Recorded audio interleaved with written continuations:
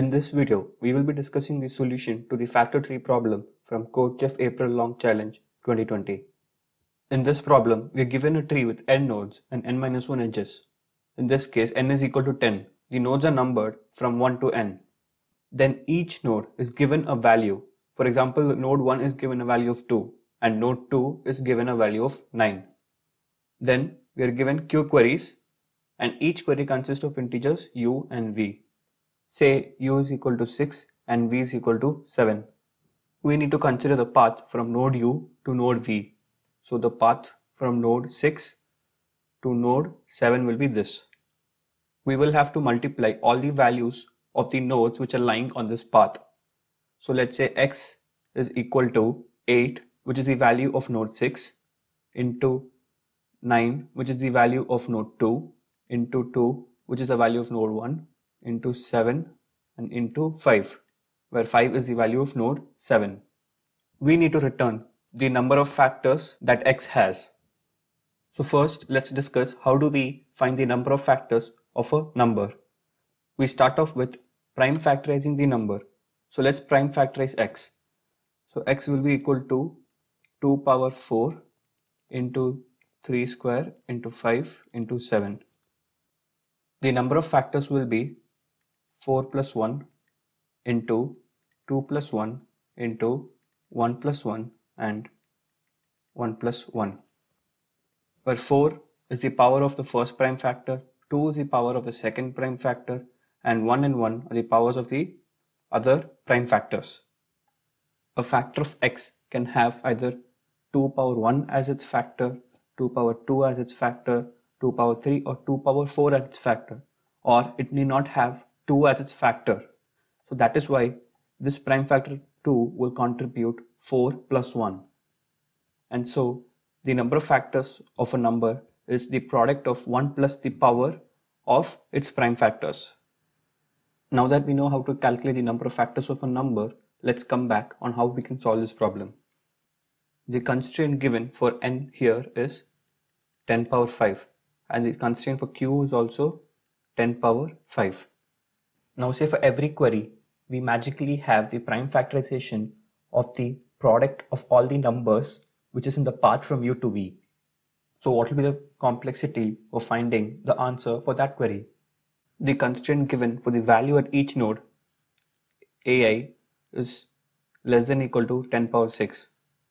The maximum number of nodes in the path from u to v can be 10 power 5 and so their product can have 10 power 5 different prime factors.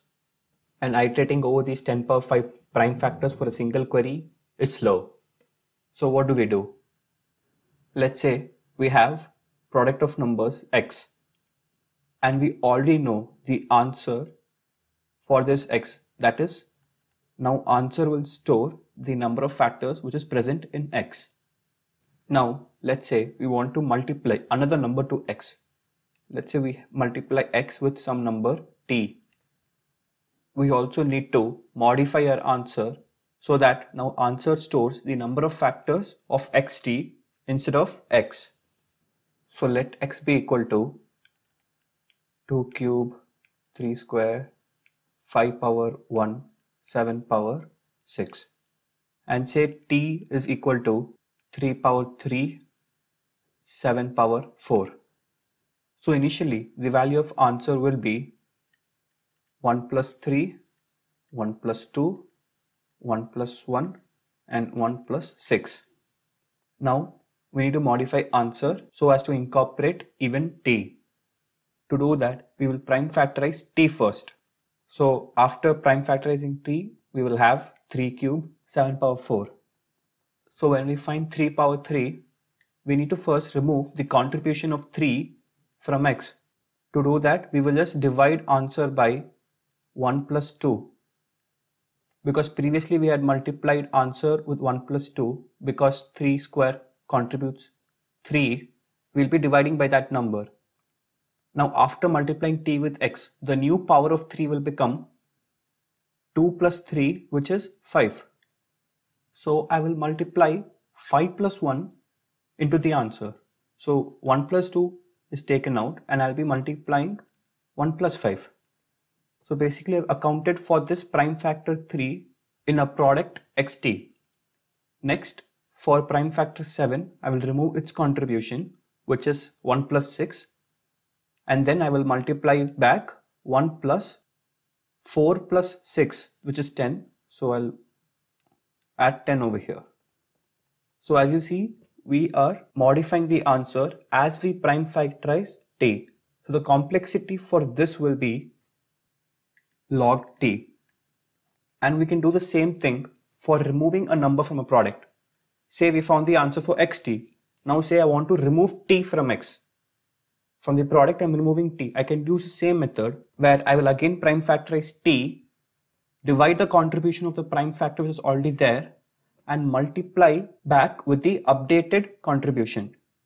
So for prime factor 7, after dividing, instead of multiplying by 1 plus 10, since I'm removing, I'll be multiplying by 1 plus 2, where 6 minus 4 will give me 2. So basically, if I'm multiplying a number to an existing product, then modifying my answer can be done in log t and prime factorizing a number in log t can be done using a method known as sieve and you can find the link to the method in the description below. Now let's see how we can find the answer for this query u is equal to 6 and v is equal to 7. So for all the nodes in the path from 6 to 7, we need to multiply these values and find the number of factors. We will have two pointers which will be pointing at the starting node initially. These two pointers will denote the answer that we have calculated for the product of all nodes in between these two pointers. So initially we have found the answer for the product 8. Next we will be updating one pointer to the next node in path from 6 to 7. Now we will update our answer so as to incorporate 9. So now the answer will be for product 8 into 9. Now again we will update this pointer to the next node and we will incorporate 2 in a product and update our answer.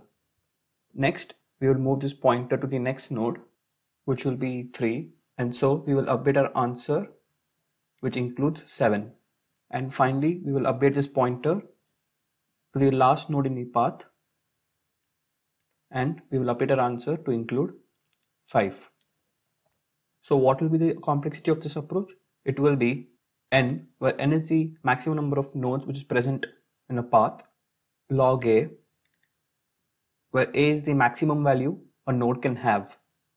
For each query, n log a is still very slow. We will need to optimize further. Note that the queries which are given to us are offline queries, meaning that two queries are independent of each other and we can process the queries in any order as we like.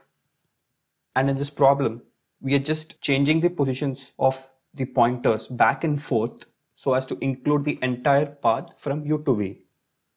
Which brings us to the final optimization, which is Mo's algorithm. We will be using Mo's algorithm to sort the queries and to update these pointers. The complexity before was q n log a for all the queries. Now, after applying Mo's algorithm, the complexity will become q root n log a and this is sufficient to pass the problem. We will now see how we will use Mo's algorithm on trees and see how we can update our pointers so that we can answer every query efficiently. We know how to apply Mo's algorithm on an array. But how do we do it on trees? We will use the Euler path of a tree to convert the tree into an array and we can apply Mo's algorithm on that array. Let's see how we can convert it to an array. First, we will do a DFS traversal on this tree starting from the root node and we will record the in times and out times for every node. What do I mean by this? Say I have a DFS function we use the current node and say p is the parent. Before I recurse into child nodes, I will set the start time of this node to be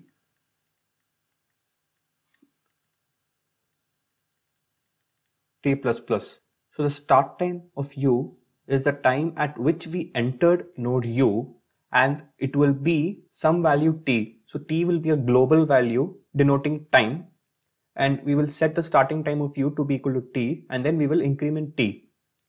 Then we will visit all the child nodes and at the end of the function we will set the end time of this node. So the end time for u will be equal to t plus plus.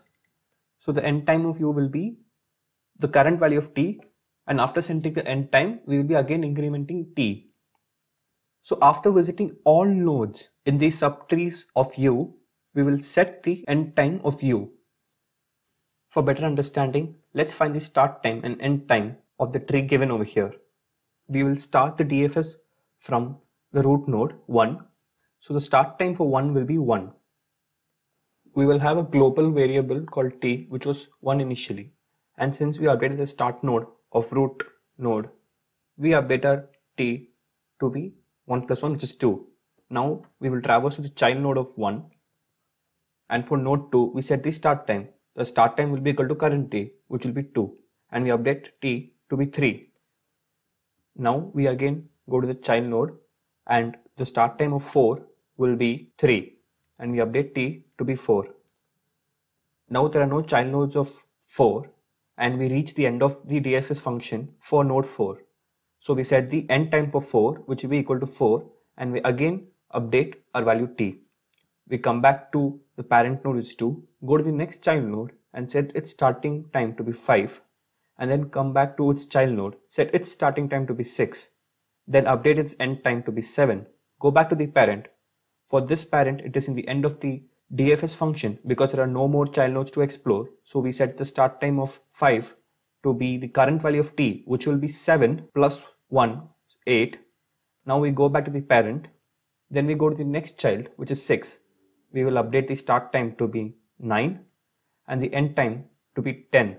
We go back to 2 and in 2 we are in the end of the DFS function and no more child nodes to be explored. So we update the end time to be 11. Similarly, we do the same thing for the node 3 as well.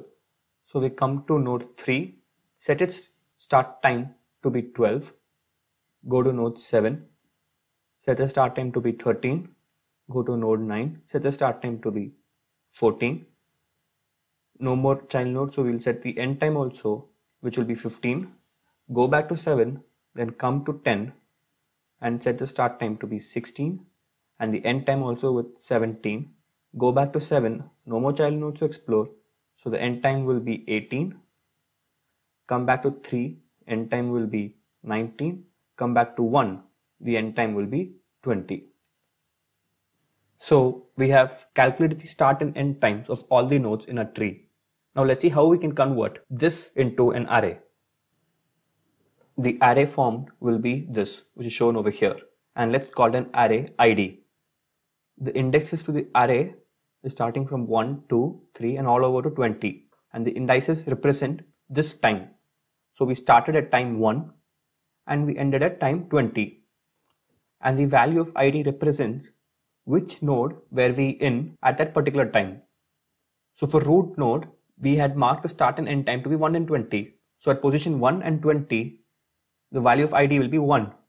At time 9 and 10, we were at node 6. So for time 9 and 10, the value of id is 6. So in the code I can write id of t is equal to u and at the end I can write id of T is U. This array now represents the Euler path of this tree. Now before we can apply Mo's algorithm, we need to see, given two nodes U and V, how do you find all the nodes in the path from U and V using this array ID? So given two nodes U and V, first we will find the LCA of U and V. We will use the binary lifting method to find the LCA of two nodes in log n time. Let's say u is equal to 3 and v is equal to 10 which will be this node and this node and we will find all the nodes in the path from 3 to 10 and the LCA of 3 and 10 will be 3. If the LCA of u and v is equal to either u or equal to either v in this case LCA of 3 and 10 is equal to 3, then the nodes in my path can be represented by this range. Start of 3 and start of 10 where 3 is my LCA and which is also equal to one of my nodes and 10 is the other node. Starting time of 3 is 12 and starting time of 10 node 10 has starting time 16 the range will be 12 to 16 in the ID array. And in this range, we will only consider nodes which occur exactly once. As you see, 3 occurs once and 3 is in the path. 10 occur once and 10 is in the path.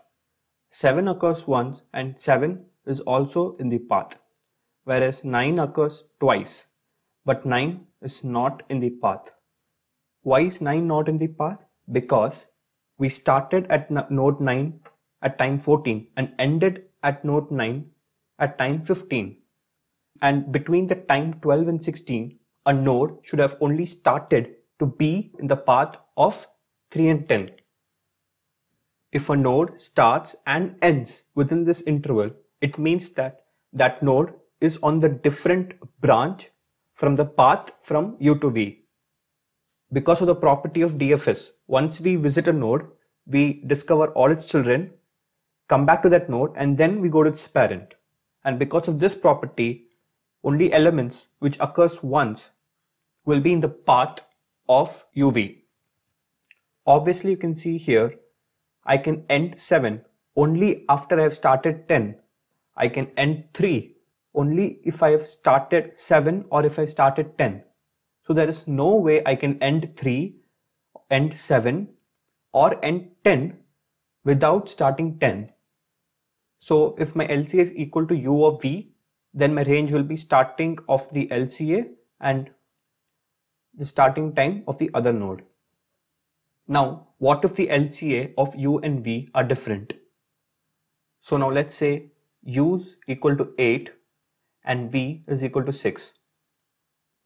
So U is 8 and V is 6. The LCA of 8 and 6 will be 2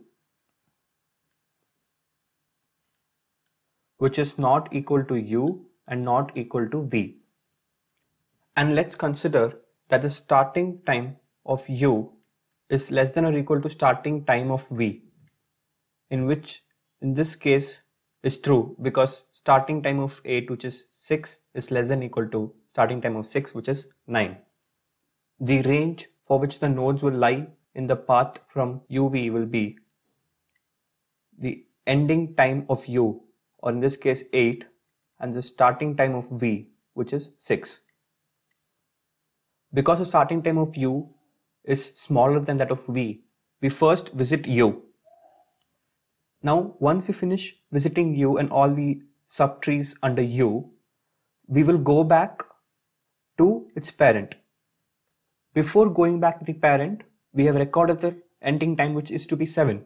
So from that ending time, I will be considering the nodes. So the moment I end at 8, I will go to its parent. I will end 5, go to its parent and obviously because of DFS, I will go to the next child which will be this. And the moment I come at 6, I will consider the starting time of 6 and stop the range there. That is why we take the ending time of u till the starting time of v. The ending time of 8 is 7 and the starting time of 6 is 9. So in this range we have 8, 6 and 5 which are in a path and if there were any nodes which occurred twice in this range, then we will not consider, we will only consider nodes which is occurring exactly once, since it would have formed a different branch from our path. And observe that the LCA is not included in this range because the LCA node was started before this range, which was 2, and ended after this range, which was 11. So to include this LCA node, I will be also adding the range start time of LCA to start time of LCA which will be essentially starting at 2 and ending at 2. So given two nodes u and v, we can find a continuous range in the array ID such that we know the nodes which are in the path from u to v and we can use two pointers to denote that range. So for this current example, one pointer will be here and the other pointer will be here. And all we have to do is we have to apply Mo's algorithm to sort the queries such that these pointers can be updated efficiently. And this question boils down to applying Mo's algorithm on this single array. Note that when the LC is not equal to UV, we have this extra range which includes a single element. And for this, what we do is once we get the answer for this range, we will include this element and modify our answer, store the current answer to be the query's answer, and then remove this element from the answer so that this element is removed and we can again start updating these two pointers. Also, we can have an array called visited where visited of u means u is included in the range exactly once. So when we update an element, if that element is already visited, we unvisit it by removing the element. And if the element is unvisited, then we visit the element by including the element. This way we ensure that we don't include elements which is occurring even number of times. And since we have a continuous range of elements for every query, we can easily apply Mo's algorithm on this array and solve this problem. So here it is guys. I hope you've understood the logic behind this solution. If you have, please do not forget to like this video and subscribe to my channel Fluent Algorithms. See you in my next video.